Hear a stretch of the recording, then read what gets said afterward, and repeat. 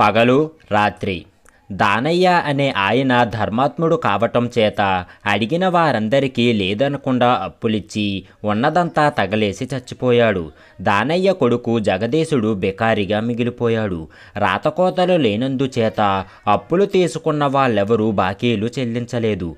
జగదీశుడికి ఊరి మీద ఊరి వాళ్ళ మీద రోత పుట్టి మరెక్కడైనా బతుకు తెరువు చూసుకుందామని బయలుదేరాడు. ఆ రోజు ఆ రాత్రి కూడా వాడు అడవిదారుల వెంట నడిచి మర్నాడు వేకువజామున ఒక నది చేరుకున్నాడు. నది తీరాన కొంత దూరంలో వాడికి ఒక అందమైన భవనం కనబడింది. జగదీశుడు దానికేసి నడిచాడు. సూర్యోదయం కావస్తున్నది. ఆ భవనం నుంచి ఒక మనిషి రొప్పుతూ జగదీశుడికి ఎదురుగా పరిగెత్తుకుంటూ వచ్చాడు. ఆ మనిషి బట్టలు చిరిగి ఉన్నాయి. వాడి వీపు మీద వాతలు ఉన్నాయి. జగదీశుడు ఆ మనిషిని ఆపి ఎందుకెలా భయపడి పారిపోతున్నావు? నీ వీపు మీద ఈ వాతలేమిటి? అని అడిగాడు. ఆ మనిషి క్షణం ఆగి చుట్టూ చూసి ఎరగకపోయినా నిన్న ఆ భవనంలో కాలు పెట్టాను. అందులోకి పగలు రాత్రి వస్తాయని నాకేం తెలుసు అంటూ తిరిగి చూడకుండా కాలిసత్తువ కొద్దీ పరిగెత్తి వెళ్ళిపోయాడు. జగదీశుడికి ఆ మాటలు ఏమీ అర్థం కాలేదు. వాడు కుతూహలంతో ఆ భవనంలో ప్రవేశించాడు. లోపల విశాలమైన గదులు అందమైన దీపాలు తెరలు చెయ్యలు చిత్రపటాలు చూడముచ్చటగా ఉన్నాయి. ఎక్కడా మనిషి జాడ మాత్రం లేదు. జగదీశుడు భవనం అంతా కలయ తిరిగి మళ్ళీ ముందు గదిలోకి వచ్చాడు. యజమాని గారికి నమస్కారం. క్షమించాలి. ఈరోజు మేఘాలు మూలంగా సూర్యోదయం ఆలస్యం అయ్యింది. అందుకే నేను ఆలస్యంగా వచ్చాను. అన్న మాటలు వినిపించేసరికి జగదీశుడు తుల్లిపడ్డాడు. గుమ్మంలో ఒక అందమైన యువతి నిలబడి ఉన్నది. ఆమె పైనుంచి కింద వరకు తెల్లని దుస్తులు ధరించి ఉన్నది. ఆమె మెడలో మెరుస్తున్న ముత్యాల దండ ఉన్నది. ఆమె చేతిలో అందమైన నెమలి ఏకల విసినకర్ర ఉన్నది. ఎవరు నువ్వు? ఇక్కడికి ఎందుకు వచ్చావు? అని జగదీశుడు ఆమెను ఆశ్చర్యంగా అడిగాడు. నా పేరు పగలు. ఈ భవనానికి వచ్చిన అతిథులకు సేవ చెయ్యటం నా పని అని అంటూ ఆమె నడుము బిగించి పనిలోకి దిగింది. ఆమె అన్ని గదులు ఊడ్చింది. పొయ్యి రాజేసి రకరకాల పిండి వంటలతో బ్రహ్మాండమైన విందు భోజనం సిద్ధం చేసింది.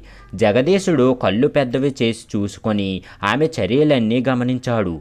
వంట సిద్ధం అయ్యింది మీరు భోజనానికి లేవచ్చు అని ఆమె ఒక బల్లపై వెండి పల్లెంలో అన్నీ వడ్డించి జగదీశుడు చేత భోజనం చేయించింది. జగదీశుడు తృప్తిగా భోజనం చేసి తాంబూలం సేవిస్తూ ఉండగా ఆమె వాడి వినోదం కోసం ఆడింది పాడింది. ఎండవేళ జగదీశుడు పట్టుపరుపు మీద పడుకుంటే నెమలి ఈకల విష్ణుకర్రతో ఆమె వాడికి విసురుతూ కూర్చున్నది.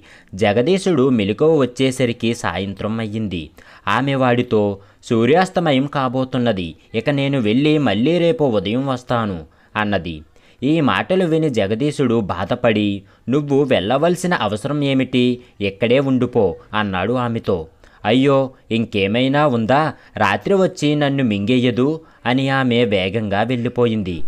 జగదీశుడు నిరాశగా ఆమె వెళ్ళిన గుమ్మం కేసి చూస్తూ ఒక్కసారిగా దడుచుకున్నాడు. ఎందుకంటే గుమ్మంలో నల్లని వస్త్రాలు ధరించిన భయంకరమైన యువతి నిలబడి ఉన్నది. ఆమె ఒంటి రంగు కారు నలుపు మెడలో నల్లని పూసల దండ ధరించి చేతిలో కొరడా పట్టుకొని ఉన్నది. అలానే కూర్చొని ఉన్న జగదీశుణ్ణి చూసి ఆమె పళ్ళు పటపటా కొరుకుతూ ఎంత తలబిరుసురా నీకు? నేను రాత్రినే ఇక్కడ నిలబడి ఉంటే నువ్వు కూర్చొని ఉంటావా? ఇలారా అంటూ కొరడా జులిపించింది. ఆమె కళ్ళల్లోనూ కంఠంలోనూ ఉన్న అధికారాన్ని ధిక్కరించటం జగదీశుడికి సాధ్యం కాలేదు. వాడు లేచి ఆమె వైపు నడిచాడు. వెనక్కు తిరుగు అన్నది రాత్రి. జగదీశుడు తిరిగాడు. ఆమె కొరడాతో వాడి వీపు మీద చెల్లుమని కొట్టింది. జగదీశుడి వీపు భగ్గున మండింది. వాడి చొక్కా చిరిగి వాతపడిన చోట ఇంత ఎత్తు పొంగింది. వాడు బాధపడుతూ ఉంటే రాత్రి విరగబడి నవ్వి ఇప్పుడే ఇలా గిజగిజలాడిపోతే ఎలా? తెల్లవారేలోగా ఇంకా మూడు కొరడా దెబ్బలు తినాలి. జాముజాముకు ఒక చరుపు చరుస్తాను. సమయం తెలుసుకోవటానికి నీ వీపు మీద వాతలే నాకు ఆధారం. అసలే మతిమరుపు దాన్ని. వేల మరిచిపోయానంటే పగలు వచ్చేస్తుంది. పగలు వచ్చిందంటే ఇంకేమన్నా ఉందా? దానిలో కరిగిపోను అన్నది. తర్వాత రాత్రి జగదీశుడు చేత ఇల్లంతా తుడిపించింది. పొయ్యి రాజేయించి వంట చేయించింది. వాడు తనకు వెండుపల్లెంలో వడ్డించాక ఆరగించింది. తర్వాత తాను తాంబూలం నములుతూ జగదీశుడితో నన్ను ఆనందింపచెయ్యు అన్నది. జగదీశుడు ఆడాడు పాడాడు. రెండవ జాము ఆరంభంలో వాడి వీపు మీద రెండో కొరడ దెబ్బ వేసింది. తర్వాత ఆమె వాణ్ణి సూదులతో గుచ్చుతూ సరదాగా ఆనందించింది. మూడవ జాము మొదట్లో ఆమె వాడి వీపు మీద కొరడాతో మూడోసారి చెల్లుమని గట్టిగా కొట్టి వాడు విసురుతూ ఉండగా కాసేపు నిద్రపోయింది. ఆమె నిద్ర లేచాక జగదీశుడు వీపు మీద వాతలు లెక్కపెట్టి మూడు జాములు గడిచాయని గుర్తు చేసుకొని నాలుగో జాము మొదట్లో నాలుగో దెబ్బ వేసి కొంతసేపు జగదీశుడు జుట్టు పీకి బట్టలు చించి బాధలు పెట్టి సూర్యోదయం కాబోతూ ఉండగా మళ్ళీ సాయంత్రం అయ్యాక వస్తాను. పగలు వచ్చిందంటే ప్రమాదం అని కంగారుగా వెళ్ళిపోయింది. ఆమె వెళ్ళిన కొద్దిసేపటికే వందనాలు చేస్తూ పగలు వచ్చింది. ఆమె వస్తూనే జగదీశుడి వీపు మీద వాతలను తన నెమలి ఏకల విసినకర్రతో తాకింది. ఆశ్చర్యం! అవి వెంటనే మాయమయ్యాయి. తర్వాత ఆమె ఇల్లు శుభ్రం చేసి చక్కని భోజనం ఏర్పాటు చేసి జగదీశుడు నిద్రపోతూ ఉంటే విసురుతూ కూర్చుంది. నిద్ర నటిస్తున్న జగదీశుడు లేచి దాహం మంచినీళ్ళు కావాలి అన్నాడు. ఆమె విసినకర్ర అక్కడే పెట్టి లోపలికి వెళ్ళింది. జగదీశుడు ఆ విసినకర్ర నుంచి ఒక నెమలియేక తీసి పరుపు కింద దాచాడు. సూర్యోదయం కాబోతూ ఉండగా పగలు వెళ్ళిపోయింది.